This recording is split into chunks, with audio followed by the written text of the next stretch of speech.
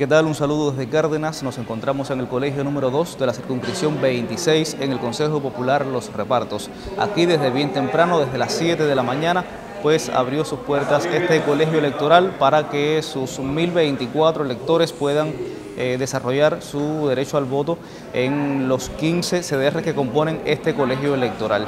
Mm, es importante destacar que todas las autoridades electorales se encuentran presentes aquí, o sea, las pertenecientes a este colegio. También están todas las condiciones creadas, eh, las urnas custodiadas, por supuesto, por los pioneros, los listados de electores actualizados y así como la presencia de los símbolos patrios engalanando este sitio. Es importante destacar también que nuestro municipio tiene un total de 115.289 electores que podrán ejercer su derecho al voto, que en 330 colegios electorales. Cárdenas cuenta además con 46 colegios especiales, 45 de ellos habilitados en instalaciones hoteleras y uno en el Hospital General Docente Julio Aristegui Villamil. A lo largo de esta programación pues estaremos dando otros datos de interés para nuestro pueblo para conocer un poco más sobre este proceso de elecciones generales 2023 en el municipio de Cárdenas. Ha sido un reporte de un equipo de Telebandera para el Sistema Informativo de la Televisión Cubana.